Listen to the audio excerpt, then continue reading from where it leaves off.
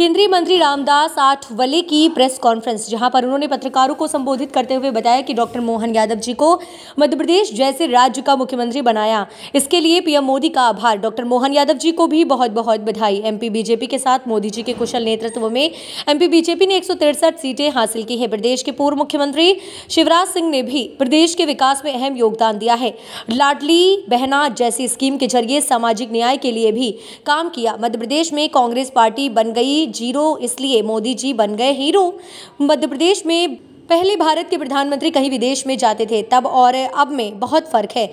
आज प्रधानमंत्री मोदी विश्व के लीडर बने हैं। राम मंदिर के विषय में भी ऐतिहासिक काम हुआ है। राम मंदिर को लेकर कई सालों से भक्तों की जो इच्छा थी, वो पीएम मोदी के नेतृत्व में पूरी हुई है। न्यूज़ रूम सेवन के लिए कैमरामैन इरफान खान के साथ सऊद सिद्दीकी की रिपोर्ट।